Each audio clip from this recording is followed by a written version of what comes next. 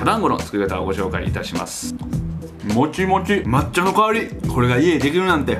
ご覧になっているのが材料と主な調理器具です。上新粉砂糖抹茶。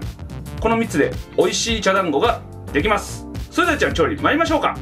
はい。してますがその前にですね、こちら今1階の部分にですね水を張った蒸し器です。事前に蒸し器を温めておきますではこちら上新粉 100g に50度から60度ぐらいのぬるま湯 80g を加えていきます、はい。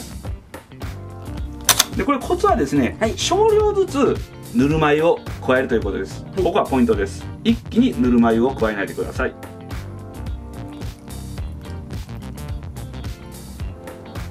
こんな感じで売られてるんですよ上新粉っていうのは、だんだん上新粉がこう塊になってきましたね、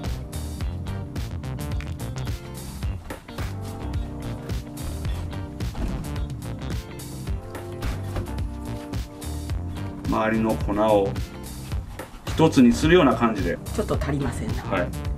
ななるほどね、はい。ああ、はよくこねます。い、かなり今、はい。力を入れてますね、はい。よーくこねるっていうのもポイントですねよっちゃん。そうです。はい。ま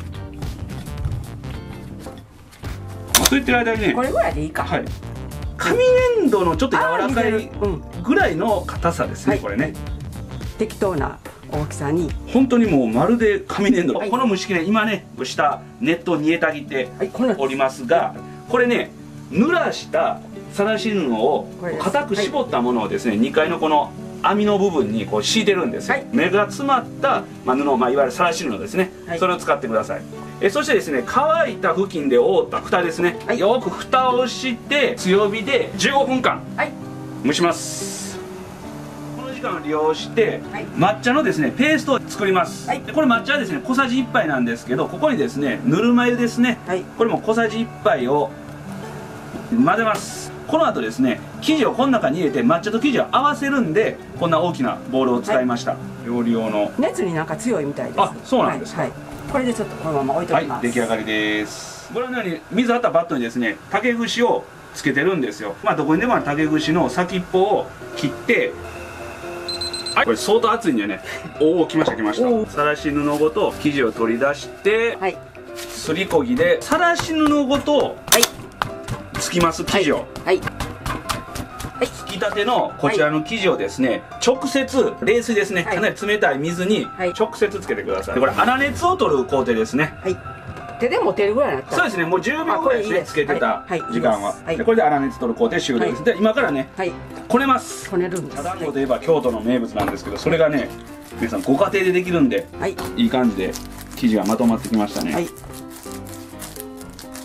さあまな板の上でこね始めて、まあ大体9分ぐらい経ったんですけど、はい。あかなりこう弾力でできましたねね。はい。あこんなんでいいんですね、はい。じゃあこれをね回蒸します、はい。水で、えー濡らして絞ったさらし布ですね、にこのはい生地をまあ入れてではい。今隣であの煮えたぎってますけど、はい。でこのままですね、はい。さらし布でくるんだ生地を入れてで強火。です。強火で5分間蒸してください。はい。生地を取り出しまして、こんな感じでちょっと平たくはい。しておいてください。はいでこちらですね、まあ、砂糖上白糖ですね今回使います。80g ですね、はい。これを少量ずつです。ポイントはい。少量ずつです、一気に入れないでください、はい。少量ずつ生地に混ぜ合わせていきます、はい。まあ、ちょっと練り込む的な感じですね。そうです。これ何回も言いますけど一気に入れたらダメですよ皆さん。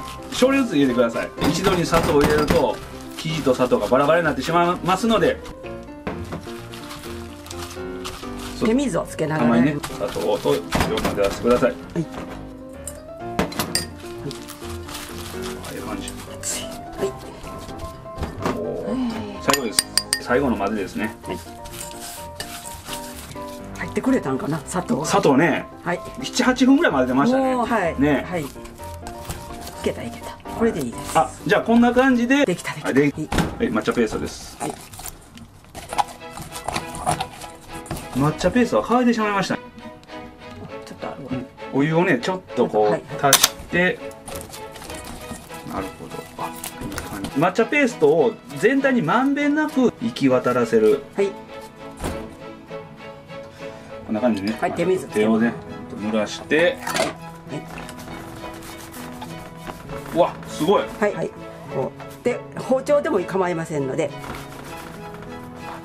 沼さんとねはい。うわうまそうですね。ね綺麗ですね。